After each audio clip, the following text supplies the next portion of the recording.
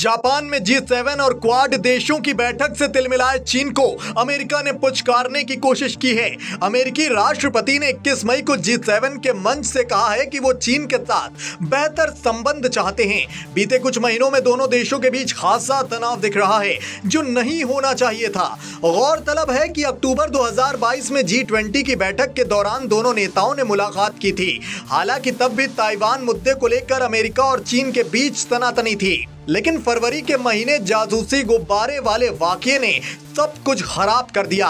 दोनों देशों के संबंध काफ़ी तनावपूर्ण हो गए। यहाँ तक कि अमेरिका के विदेश मंत्री एंटनी ब्लिंकेन को अपना चीन दौरा रद्द करना पड़ा था। आपको मालूम हो कि अमेरिका के प्रभुत्व वाला जी सेवन दुनिया के शीर्ष अर्थव्यवस्थाओं का संगठन है। इसमें चीन और भारत शामिल नहीं है। पहले यह संगठन जी कहलाता था, लेकिन रूस ने साल 2017 में खुद को इस संगठन से अलग कर लिया।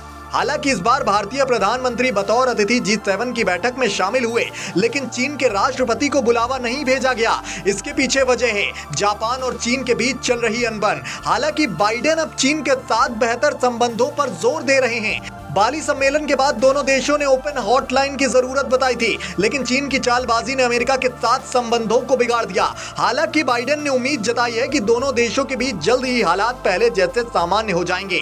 बाइडेन ने कहा है कि वो चीन से अलग होने के बारे में नहीं सोच रहे। चीन के साथ संबंधों को जोखिम मुक्त और विविधता पूर्ण बनाना चाहते हैं वो। जल्द ही दोनों देशों के बीच बड़ी तलखियाँ कम होंगी और संबंध फिर से पटरी पर आ जाएँगे। भले ही बाइडेन दुनिया के सामने चीन के साथ बेहतर संबंधों की दुहाई दे रहे हो, लेकिन हकीकत तो यह है कि चीन और अमेरिका के संबंध मौजूदा दौर में पटरी पर आना संभव ही नहीं, क्योंकि चीन भी आर्थिक महाशक्ति बनने की दौड़ में अमेरिकी वर्चस्व को जब तब चुनौती देता रहता है। साथ ही अमेरिका के मित्र देशों से उसके साथ संबंध बेहतर नहीं है।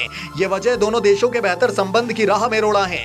अंतर्राष्ट्रीय मामलों के जानकार ये पुष्टि करते हैं कि निकट भविष्य में ऐसा होने की गुंजाइश कम ही नज़र आती है। इसके पीछे इंडो पैसिफिक में चीन की विस्तारवादी नीति जिम्मेदार है।